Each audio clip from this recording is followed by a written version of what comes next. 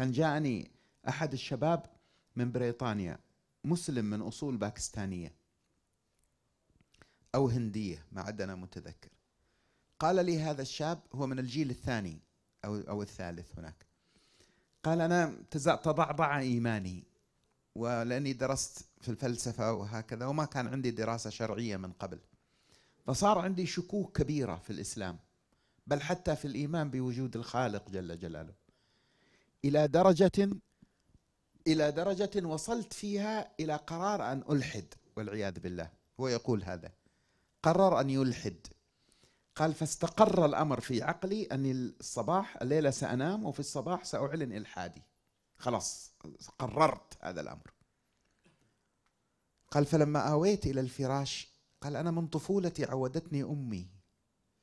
أني إذا آويت إلى الفراش آخذ السبحة وأصلي على النبي مئة مرة قبل أن أنام. يقول وجدتني أحمل السبحة.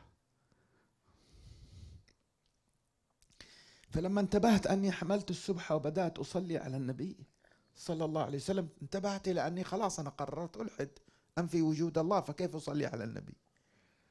قال فوجدت قلبي يصارع عقلي. الإلحاد ليس ليس ليس أمرا عقليا؟ الإلحاد ضد العقل.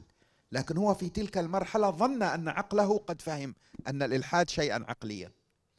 فأخذ قلبي يصارع عقلي. قال وفكرت وقلت إن كان بالفعل لا يوجد إله فمعنى هذا اتهام للنبي بالكذب وحاشاه صلى الله عليه وسلم.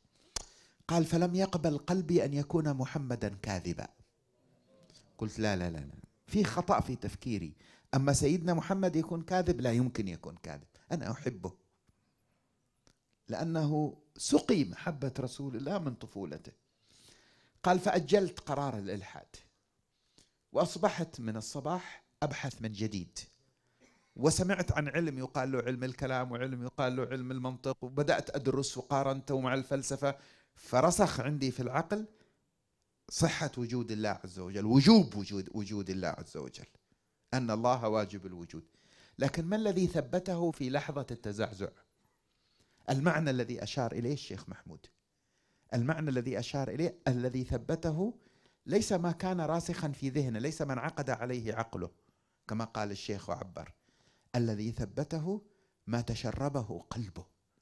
ثم أن إن هذا النور الذي تشربه قلبه قد فتح المجال أمام العقل ليدرك وتزول سحابة التشويش عن ذلك العقل.